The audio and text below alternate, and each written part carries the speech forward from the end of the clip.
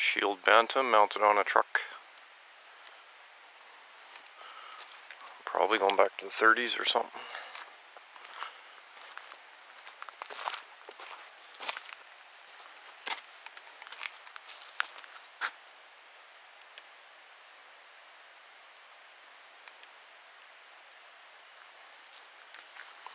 No engine in it.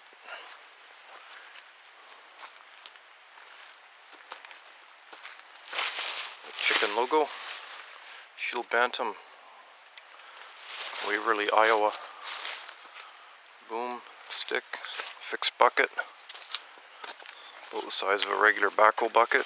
Just a little bit shallower.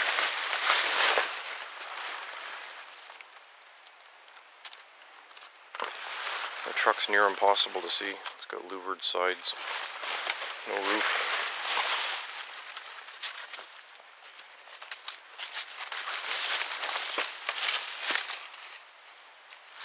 Really tough to see. Move tree. There we go. It's like a little tea bucket sort of cab going on.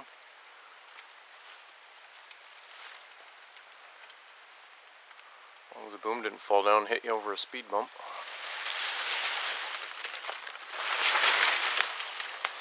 Small pins, inch and a half pins.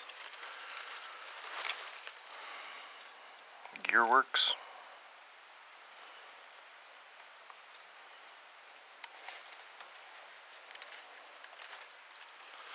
It's an oldie. And it's tandem on the back.